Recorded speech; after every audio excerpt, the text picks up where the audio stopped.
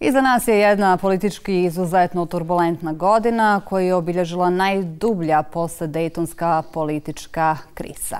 Strašna riječ, rat, po prvi put nakon potpisivanja Dejtonskog mira ponovo se vratila u riječnik političara, analitičara i medija, a neizvjesnost u živote građana. O političkoj, ali prvenstveno bezbjednostnoj situaciji imaju li građani razloga za zabrnutost, danas razgovaramo sa našim gostom, gospodinom Aljošom Čamparom, federalnim ministrom unutrašnjih poslova. Gospodine Čampara, dobar dan, dobrodošli u emisiju. Dobar dan, hvala na pozivu i pozdrav gledateljima. Evo, gospodine Čampara, imaju li građani eventualno nekog razloga za strah kada je u pitanju bezbjednost prvenstveno u Federaciji Bosne i Hercegovine?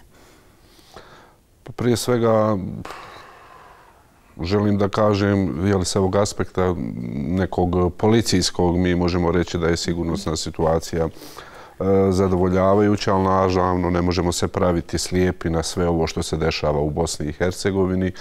Eh, prije svega mislim na političku situaciju, socijalno-ekonomsku koja naravno nije dobra, dakle nije nikad bilo gore stanje u tom političkom smislu koje sigurno mora ili može imati određene reperkusije i na samu e, sigurnosnu situaciju. Dovoljno vam je jedan mali incident koji može izazvati određene turbulencije u Bosni i Hercegovini, evo ovdje u Federaciji, u manjim BiH, entitetu, tako da e, teško je sa sigurnošću reći da se ovdje ništa neće e, dešavati. Ja sam možda u zadnje vrijeme veći optimista nego što sam bio prije dva, tri mjeseca, ali nadam se... Zašto ste sada veći optimista? Pa zato što određena i retorika i sve ono što se izdešavalo u posljednje vrijeme i ti potezi koje povlači Milorad Dodik, na neki način e, on je najavljivao svašta nešto da će uraditi i do kraja e, ove nove godine da će usvojiti neke zakone. Ipak je to ostalo na odgađanju tih sjednica pa na određenim e, informacijama pa na određenim zaključcima. Imamo svaki dan od njega određene izjave toga tipa ali evo, pratit ćemo situaciju u narednom periodu, mislim i da e, domaće snage, ali naravno i prije svega i međunarodne institucije, a domaće u smislu pravosudnih institucija moraju i trebaju reagovati, evo i počeli su reagovati e, na određene ove pojave E, koje se e, dešavaju. Dakle, mi moramo zaštititi građane Bosne i Hercegovine, e, mir nema alternativu i moramo svi budno posmatrati sve ukupne ove događaje. Naravno, ja ne mislim da će i međunarodna zajednica i da će normalni ljudi, građani prije svega u Bosni i Hercegovini dozvoliti da se dese strahote koje su se e, dešavale prije nekih 25 e, godina, ali naravno niko to sa sigurnošću ne može e, ni tvrditi, jer naprosto imate neke političare, ljude koji jednostavno nisu normalni ovaj, i nije normalno ono što rade, tako da Evo, ostaje u narednom periodu uh, da vidimo šta će se sve. Pričat ćemo mi o tim posljedicama političke atmosfere u Bosni i Hercegovini. Da krenemo sa određenim istragama i onome što se dešavalo u prethodnoj godini. U protekloj godini bilo je i izvisnih pozitivnih pomaka u istragama kada je u pitanju stradanje Mladića i Dženana Memića u Federaciji Bosne i Hercegovine, ali i Davida Dragićevića u Republici Srpskoj. Nekako se čini da još uvijek se daleko toga od privođenja pravdi počinilaca. Mnogo se o ovim slučajima govori u javnosti. Nekako se čini da je na ispitu i kompletna i pravna država i njeno funkcionisanje, odnosno potreba da se potvrdi da je pravosuđe nezavisna institucija. Jeste li vi sličnog mišljenja?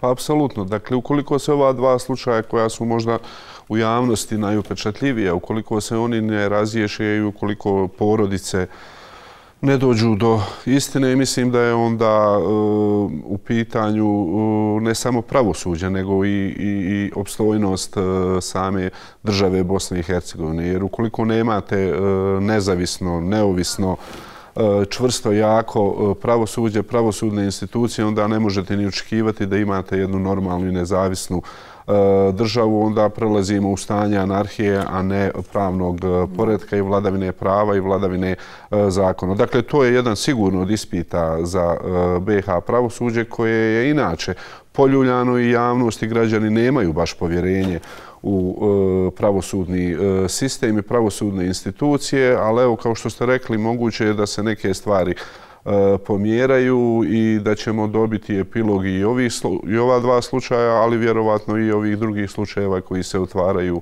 u pravosudnim e, institucijama Bosne i Hercegovine na svim nivoima. Svako ubistvo je svakako jedan e, strašan zločin i naravno zadatak države jeste da ono ne prođe nekažnjeno. Međutim, ubistvo policajaca, prvenstveno policajaca na dužnosti u svakom društvu pali taj poseban alarm. Proteklo je više od tri godine od ubistva policajaca Adisa Šehovića i Davora Vojinovića u Sarajevu. Prije mjesec dana raspisana je i potirnica za Aleksandrom Macanom. On se predao. Da li se očekuje konačno da se otkrije ko su izvršioci ovih ubistava nakon svjedočenja evo i ovog svjedoka ili kako se već tretira? Pa, apsolutno, e, da se očekuje, ja mislim da su policijske agencije i tužilaštvo koje je nadležno i koje vodi istragu e, blizu rasvjetljavanja ovoga grucnog čina. Mislim da je to prije svega jedan teroristički čin, e, e teroristički atak, dakle pucanju policajce i ubistvo policajaca, to je pucanju u državu i taj slučaj je posebno bio interesantan i za e, policijske agencije koje su radile na rasvjetljavanju tog, e, e, tog slučaja. I ja se nadam, on je dugo trajao, bio je vrlo kompleksan, dakle bilo je puno radnji koje su morale biti poduzete e, u cilju rasvjetljavanja, od međunarodne pravne pomoći do e, pomoći drugih partnerskih agencija, do saradnje svih policijskih agencija ovdje u Bosni i Hercegovini, ali koliko vidim i koliko evo, sam informisan iz medija, kao što su i građani, mislim da se e, kraj toga slučaja e, približava. Evo, kao što ste rekli, neki su se i predali, neki su i danas najavili određene e, predaje. Raspisana je i potjernica za još jednim koji se nalazi na izdržavanju kazne u Njemačkoj, koji treba isto da bude e, izručen pravosudnim institucijama Bosne i Hercegovine. E, naravno, sada mislim da niko od tih učesnika ne treba da bude e, e, e kako da kažem, ne treba ovaj e, da ima neke posebne uslove kao što najavljuju određeni mhm. ovaj e, advokati, jer svako onaj koji je učestvovao bez obzira što ono što bude svjedočio i što bude rekao, da. Bez obzira e, bilo koliko je učestvovao na bilo koji način u ubistvu dvojice policajaca, mislim da trebaju dobiti najveće moguće zapriječene kazne, ali evo vidjet ćemo u narodnom periodu. Naravno, sad će vjerovatno postoji mogućnost da će e, prebacivati odgovornost krivicu jedni sa drugi i naravno i advokati koji zastupaju svoje klijente e, dužni su jeli, ovaj, eh, da, ih, da ih brane, ali mislim da je slučaj e, skoro rasvjetljen, postoje osumnjičene osobe e, za ubistvo policajaca i evo ostaje sada na tužilaštvu da to privede e, kraju i da krene postupak, odnosno da bude suđenje i da dobiju adekvatne i zaslužene kazne i naravno i da se porodice policajaca, evo, ako možemo reći na neki način, e, da i oni dobiju tu neku vrstu moralne e, e, satisfakcije. Naravno, mi živote policajaca ne možemo vratiti, ali mislim kao država i kao društvo možemo učiniti sve da oni budu privedeni pravdi. I u slučaju policajaca i u slučaju bilo kog drugog i ubistva i ratnih zločina i svega onoga kroz što Bosna i Hercegovina je prolazila u ovome zadnjem periodu. Na početku emisije ste rekli da ste zadovoljni bezvjednostnom situacijom u Federaciji Bosne i Hercegovine. Kako onda komentarišete slučaj predsjednika Hrvatske Zorana Milanovića koji je otkazao svoju posjetu? Kako je tada navedeno, zbog bezbjednostnih razloga. Jeste ikad dobili informaciju od kolega iz Hrvatske? Koji su to razlozi bili? Ne, nismo dobili informaciju. Pa prije svega, evo, imajući u vidu i ove praznike koji su bili nova godina, mi možemo reći da je situacija zadovoljavajuća, da nije bilo nekih posebnih situacija u kojima policijske agencije nisu mogle adekvatno odgovoriti ili nije bilo nekih izazova gdje policijske agencije nisu mogle odgovoriti. Što se tiče gospodina Milanovića, mislim da je to čisto politikanstvo, jedan politički čin koji je on pokušao e, da napravi zato što mu je vjerovatno to odgovaralo u datom e, trenutku, pa prije njega je bio i gospodin e, Plenković, premijer vlade Republike Hrvatske, koji je ovdje dočekan uz najviše ovaj, počasti. Sada imali smo situaciju Evo, imali smo i ministra danas, čini mi se. Ovaj, pa, dakle, mi smo u Bosni i Hercegovini e, ovaj, na stotine predsjednika e, dočekivali. E, mislim, tri ili četiri puta da je Bosna i Hercegovina bila domaćin papi koji je ovaj, posjećivao Bosnu i Hercegovinu. Tako da naše su agencije apsolutno spremne u svakom trenutku primiti svakoga i garantovati mu bezbjednost i, i sigurnost. A to što neko pokušava dobijati neke određene jeftine političke pojene na taj način, to je druga stvar. Naravno, koliko je bilo nekih eventualnih saznanja od strane Republike Hrvatske ili njihovih obavještajnih sigurnosnih agencija, e, bilo je sasvim normalno i bio je red da se to podijeli sa našim e, policijskim agencijama, jer svaku posjetu oni zajednički planiraju. To radi Direkcija za koordinaciju policijskih tijela i državne institucije, tako da apsolutno tu nije bilo ništa, osim određenih političkih pojena koje su nekome trebali ovaj, e, u tom trenutku. Što se tiče samih izjava gospodina e, ovaj, e, Milanovića koje je davao u proteklom periodu, one su katastrofalne one su, evo da kažem, odvratne. Posebno one izjave koje se tiču ovaj, genocida u Srebrenici. Jer, znate, e, kad, nekome, e, kad neko nešto izjavljuje u negativnom kontekstu vezano za međunarodne presude kao što je genocid u Srebrenici, to je neka bolna rana koja ovdje još nikada nije zacijela i vjerovatno nikada neće zacijeliti. Kad vam neko u tri dana ubije 8000, preko 8000 stanovnika, kad vam neko dosipa e, so na tu ranu, onda mora očekivati da reakcije i medija i građana iz Bosne i Hercegovine ne budu baš lijepe. Na kraju krajeva ovdje je vrlo interesantno da i reakcije javnosti iz Republike Hrvatske nisu bile blagonaklone prema gospodinu Milanoviću radi takvih izjava. Ja ne znam zašto to njemu treba. Mnogi građani su se obradovali kada je on bio izabran za predsjednika Republike Hrvatske, očekujući da ćemo imati jedne normalne prijateljske sucijske odnose, da će on kreirati politiku napretka Bosne i Hercegovine ka euroatlantskim integracijama, ali međutim desilo se sasvim nešto suprotno koje je onako poprilično neobjašnjivo. Mhm.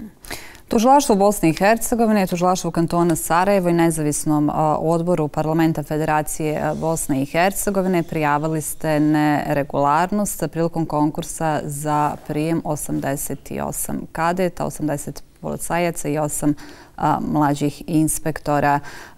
Šta se dešava sa, sa, sa ovom prijevom? Pa prije svega to su mediji, nezavisni istraživači, nezavisni novinari su E, pisali o tim e, situacijama prilikom konkursne procedure i ja sam kao ministar morao reagirati i poslati nadležnim institucijama jednostavno e, da provjere sve te stvari. Ja ništa niti želim da prejudiciram, ali neke stvari koje su se pojavljivale onako ostavljaju jednu dozu sumnjivosti na sveukupni e, postupak. E, zašto nisu objavljene imena prijavljenih kandidata? Postoje informacije da su primljani e, sinovi od tetke, od visoko rangiranih policijskih zvaničnika, e, dakle e, neki e, momci koji su bili jako dobri kandidati koji su u vrijeme konkursne procedure ispunjavali sve konkursom propisane uslove, dakle nisu imali 35 godina, onda je konkurs trajao neobjašnjivo dugo i kada se završila procedura, napunili su 35 godina, onda su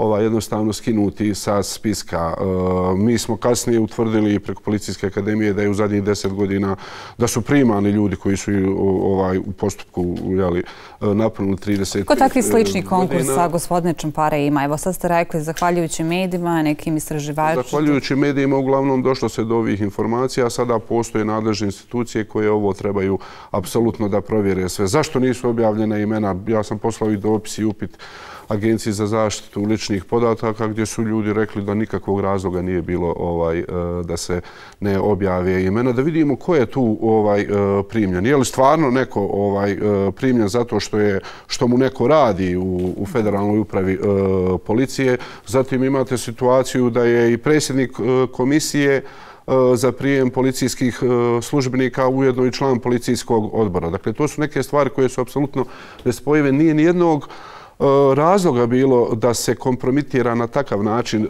konkursna procedura. Ne tvrdim ovaj, niti niti želim da budem taj e, koji će nešto reći. Žao bi mi bilo, sigurno je primljeno i dosta dobrih kandidata, ali ukoliko ovo završi na sudu, a mislim da su ovi momci koji su jeli, skinuti sa spiska se opet iz, iz medija sam saznao da su tužili. E, mislim da ti neki razlozi su vrlo jednostavni i da ne postoji sud na ovoj zemlji koji neće ovaj, presuti u njihovu korist, onda možemo doći do problema kod konkursne, ovaj, e, kod sveukupne konkursne procedure. Dakle, jednostavno mi moramo biti e, transparentni, otvoreni, e, javno to mora biti, moraju proći oni koji su stvarno najbolji, najspremniji, koji imaju najbolje e, rezultate, jer ovoj državi e, treba i dobra, sposobna, obučena, školovana e, policijska struktura i mislim da oh, niko neće imati ovaj e, problem ukoliko se tako konkursi budu raspisivali. Jedan dobar primjer je ovdje e, raspisivanja konkursa i konkursne procedure koja je, čini mi se, jako dobro, transparentno e, protekla u MUP-u kantona Sarajevo. Prije toga čini mi se i u Zenici i to je nešto na čemu trebamo insistirati i na čemu trebamo raditi, gdje imate sam softver koji bira pitanja, gdje imate audio i video snimanja, tako da niko kasnije ne može reći da je neko nekoga protežirao.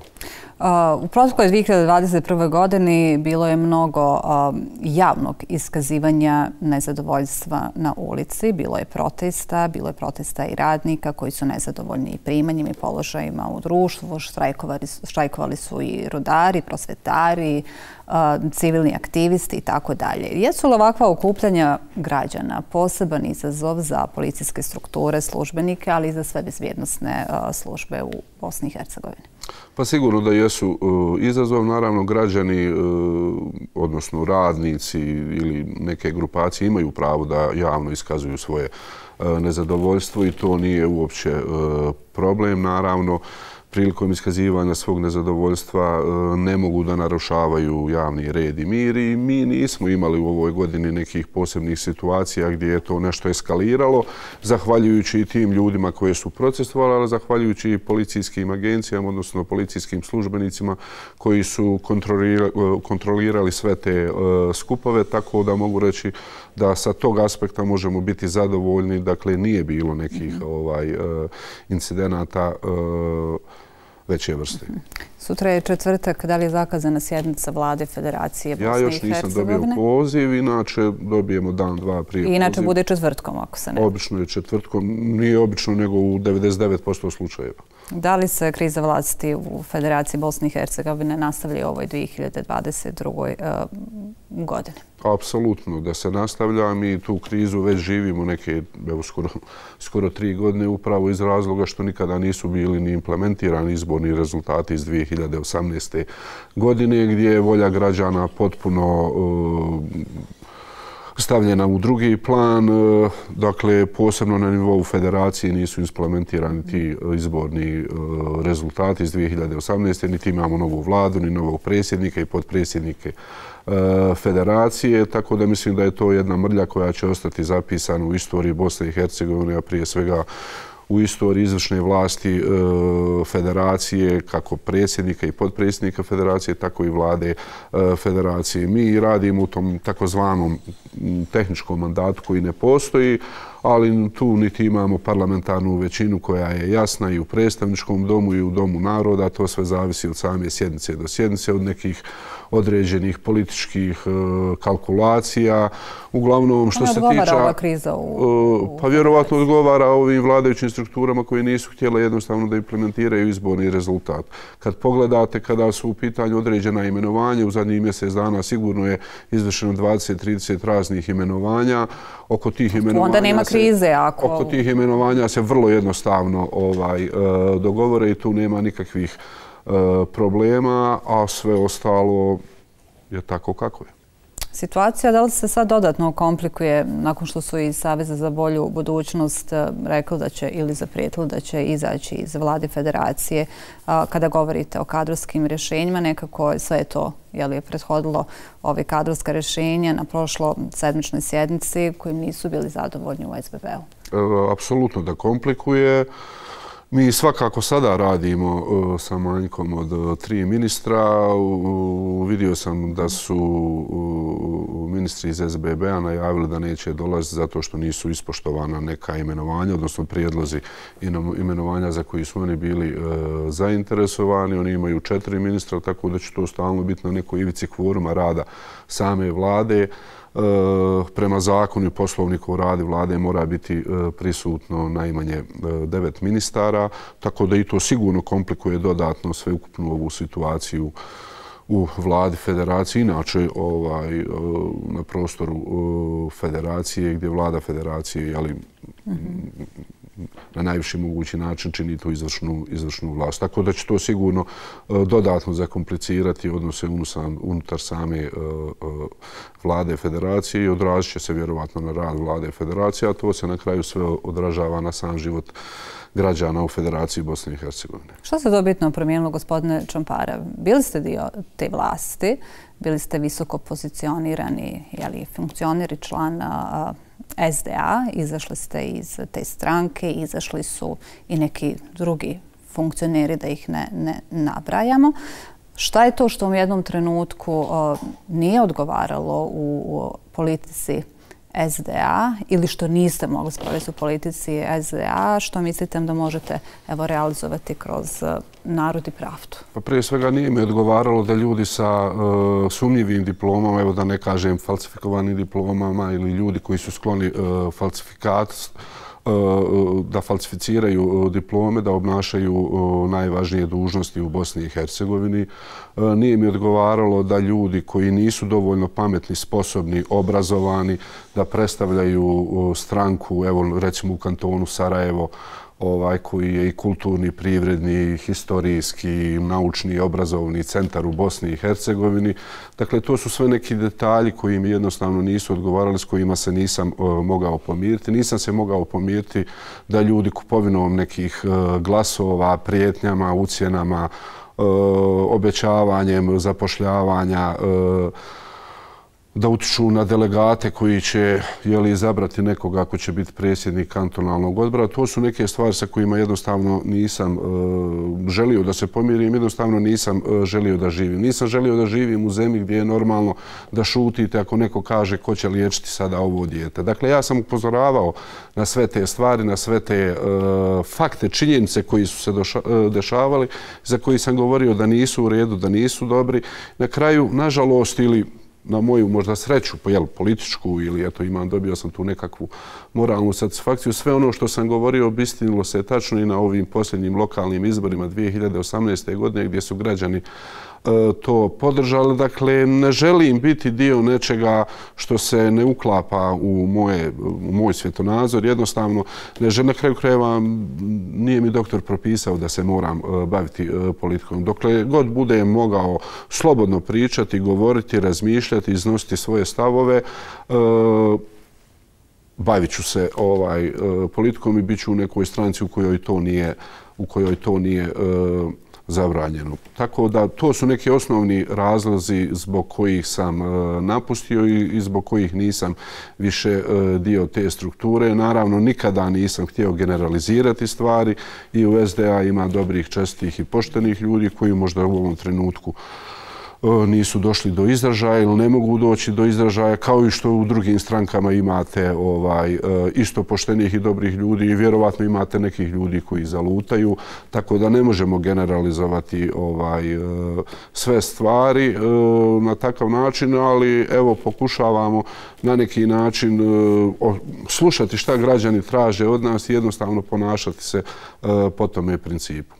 Za kraj, eh, gospodine 2022. godina, a izborna godina još uvijek je neizvisno jeli, dosta se priča o tome da li će uopšte biti izbora ove godine. Svi su optimisti, kažu, bit će, postoje tu razni mehanizmi da se, da se izbori održe. šta očekujete? Iz opozicije stalno govori, pa i opozicije u Federaciji Bosne i Hercegovine i, i, iz Republike Srpske, da i tekako očekuju promjene. Ja apsolutno stvarno očekujem ovaj e, promjene. Na kraju krajeva, ja očekujem i da građani očekuju promjene promjene. Prije svega mi se obraćamo građanima. Ukoliko građani misle da je ovo u redu, da bude ovako, da ostane ovako, da se ništa ne mijenja, onda, onda se neće desiti ovaj e, promjene. Ja mislim da su promjene potrebne, da su moguće. Promjene su se desile evo i na lokalnim izborima, evo posebno ovdje u kantonu Sarajevo vidjeli smo e, da to može, da ljudi hoće, da žele. I ja očekujem stvarno od tih izbora 2022. godine da dobijemo jednu potpuno novu političku ovaj e, paradigmu da e, da jednostavno e, promijenimo na neki način ovo što je do sad bilo. Naravno, ne može se to preko noći promijeniti, ali da budemo ti, taj motor, kreatori tih euroatlantskih integracija u kojima treba Bosna i Hercegovina da ide. Da li će biti izbora, ja sam ubijeđen i nadam se da će ih biti. Naravno, neki će pokušavati E, sigurno da se ne dese ti izbori, ali to bi značilo stvarno e, potpunu suspenziju i demokratije i vladavine prava i vladavine zakona. Onda bismo ušli u neku vrstu prijašnje mostarizacije Bosne i Hercegovine, odnosno bojim se da bismo ušli u jednu e, anarhiju. anarhiju. Naravno, neko, neko i preželjkuje tu anarhiju da na neki način pokaže da Bosna i Hercegovina nije moguća kao kao država, ali ja mislim da ima dosta e, državnički nastrojenih stranaka u Bosni i Hercegovini, pa evo i međunarodne zajednice koja bi se morala umiješati u tom trenutku i jednostavno da su izbori neminovnosti da se oni jednostavno moraju udržati. Ne samo da se moraju udržati, nego će se morati implementirati u punom svom kapacitetu. Gospodine Čampara, hvala vam što ste bili gost emisije Behatijena Uživ. Hvala vama na pozivu. I razgovarali smo sa gospodinom Aljošom Čamparom, federalnim ministrom unutrašnjih poslova Federacije Bosne i Hercegovine.